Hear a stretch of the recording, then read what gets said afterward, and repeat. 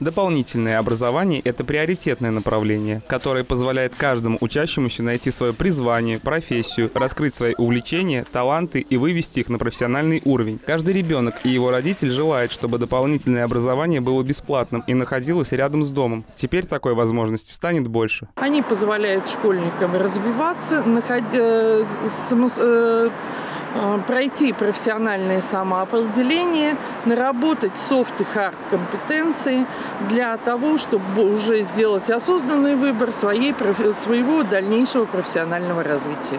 Школа вместе с учениками и их родителями сами выбирают направление в сфере доп. образования. Это может быть школа блогера, экологическая лаборатория, робототехника, школа безопасности, виртуальная реальность, графический и веб-дизайн. Так, в школе номер 57 с этого учебного года заработают два курса – робототехника и школа безопасности, которые будут посещать 150 человек 4 раза в неделю. Для этих курсов закуплено новое оборудование для повышения качества образовательного процесса. Данное оборудование позволит не только теоретически освоить данный курс, но практически попробовать заинтересовать детей в дальнейшем выборе профессии.